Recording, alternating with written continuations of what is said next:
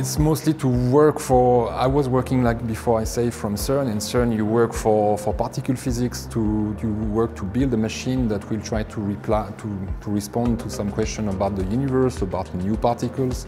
And for sure when you explain this to people that are working on other jobs, they say, wow, your job is really amazing. And it's difficult to find a job as amazing as what we were doing at CERN, but I find at MedAustron that we are doing almost the same with the same kind of machine, so it's the same kind of, uh, of work.